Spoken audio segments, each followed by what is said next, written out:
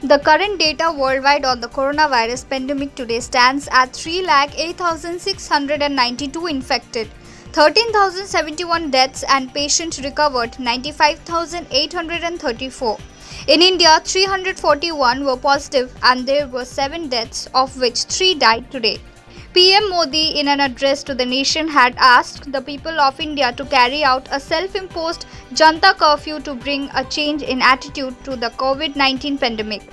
22 मार्च रविवार को सुबह सात बजे से रात नौ बजे तक सभी देशवासियों को जनता कर्फ्यू का पालन करना है The advisory has been taken very seriously by the citizens of the country. In Bengal, the shops were shut down by various business establishments after various marketing bodies decided to shut down the market completely except for essential and emergency commodities for 72 hours from this morning.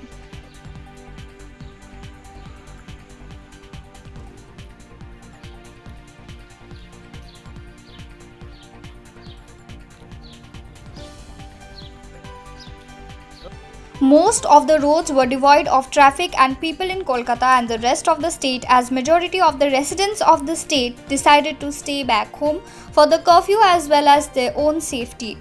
The Asian Highway 2 also had practically zero traffic except for a few vehicles that were coming and going to the airport.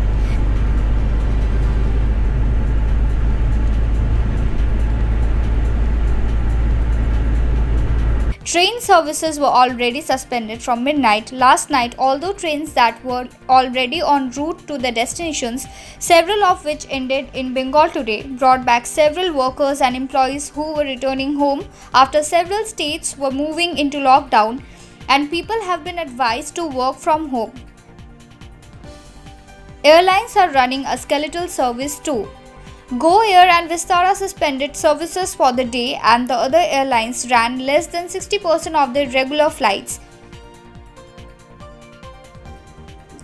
In spite of the seriousness of the situation and the Janta curfew, some youngsters were seen playing football and cricket as they were bored, ignoring knowingly advisories from the government.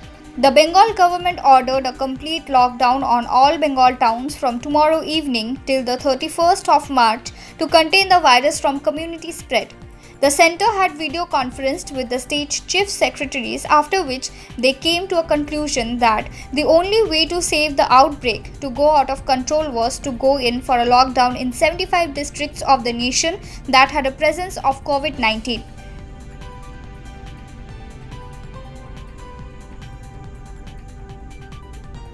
At 5 pm in the evening, people were seen clapping hands, blowing the conch, ringing bells to pay tribute to all the people who are in the essential services and are protecting the rest of the nation from the virus outbreak.